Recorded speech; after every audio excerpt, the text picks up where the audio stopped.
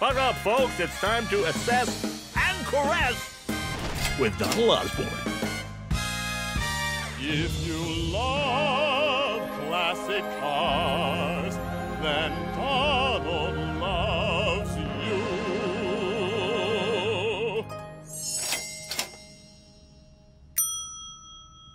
Well, this episode is all about innovations and breakthroughs. I am Jay Innovation. This is Donald Breakthrough. And we have three cars here from three different eras that were innovative breakthroughs. Tell us what we have, Donald. Jay, today we've got a 1925 Cadillac V63 Phaeton. We have a 1934 Chrysler Airflow Imperial CX and a 1914 Rolls-Royce 4050 Silver Ghost. Let's start with the Cadillac. Okay. You look at it and you say, well, it's certainly an attractive car. What is innovative about this? Well, Jay, this car comes to us from our friends at Farmers Insurance. And in fact, a car like this 1925 Cadillac was the very first car they ever insured in 1928. And this is one of these cool things they did back in the day. See, to prove that your car was insured, Farmers Insurance would give you this. You put that right on there, you see. So, aha!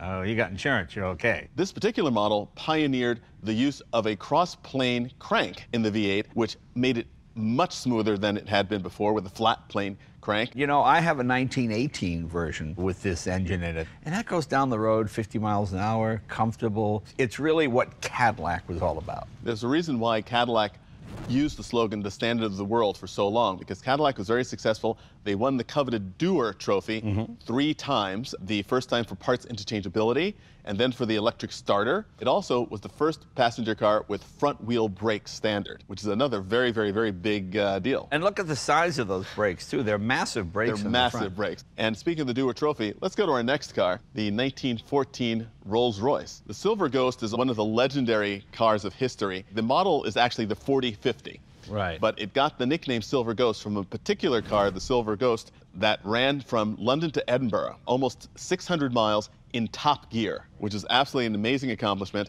They followed that up and won a Dewar's Trophy for a 15,000 mile continuous driving tour, after which they tore down the car, opened up the engine, and found no measurable wear. It was smooth, it was quiet, it reached a level of efficiency and performance that was unheard of. Exactly. And one of the things which is quite interesting about both this car and the Cadillac it shows the pace of development in the auto industry from 1908 to 1928. Things which were extraordinary about precision engineering and interchangeable parts became the norm, right. so that Henry Ford could manufacture a car for the masses that had the features of a Rolls-Royce or a Cadillac. Let's move on to our third car. Our third car, the Chrysler Airflow. Its innovations are obvious. This is the first American mass-produced car that was designed with a wind tunnel. I understand that Orville Wright actually consulted with the designers on it. This is a classic case of trying to sell something before its time. A lot of times when they come out with futuristic cars, they're a little too far in the future and people, whoa. Like this, with this, people were used to this kind of a grill, you know, this big Rolls Royce or the. Cadillac with the thing, you know, whereas this swoopy sort of Santa Fe Express streamline thing, it just looked odd to people. In fact, this is the only year they did what they call this waterfall grill. They went back to a traditional kind of front. It should have been the most spectacular car of the 1930s for America. But I'll show you the greatest thing about this car. You all know about this. You see, you have your, you need air. There you go. Oh, you want a lot more air? Whole window disappears. Plus, this opens. Opens. So airflow, it really does. The air literally flows through the car. But now we have to decide which one has appreciated the most. In the last five years. I think Rolls-Royce has appreciated the most because the resurgence of Rolls-Royce, much like Bugatti has revived the old name, the new Rolls-Royces are quite successful. And in the history of the automobile, this is probably one of the most written about cars of all time. So you're hitching your wagon to the ghost.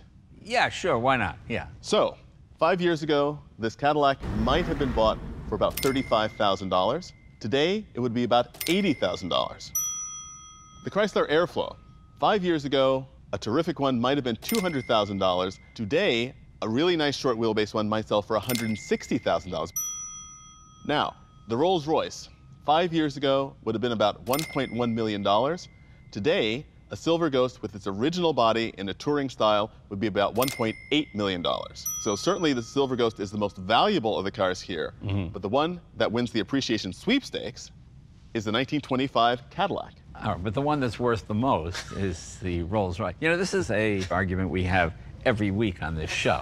To me, it's the one that gets you the most money. It's not that. It's the one that's moved the furthest from point to point. I still like what I said better. Never let the truth get in the way.